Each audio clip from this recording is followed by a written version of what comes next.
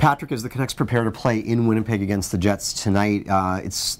I thought we probably should talk about the power play, which which did connect in, Yeah. in Montreal. I know that uh, the kid Jared McCann got a power play goal, but some wacky stuff happens on the Canucks power play. Yeah, Jared McCann, someone that Jason Botchford had been calling for. Maybe they should put him on the power play since he has some experience. He can shoot. But uh, more interestingly, Derek Dorsett and Chris Tanev. Chris Tanev bumping up to the first unit. Sort of uh, bit crazy. You know, they talk about uh, you know that line about uh, doing things over and over again and thinking you're going to get different results. That's crazy. This is a different kind of crazy. Okay, so what's the is what's the stupid? Okay, what's the problem? Let, let me ask you this: What's the problem with Tanev and Dorsett on the power play? Chris Tanev, come on. I mean, Chris Tanev's a good player, but like that's not going to solve your problems. The guy, the guy doesn't have. He's got a whiffle of a shot.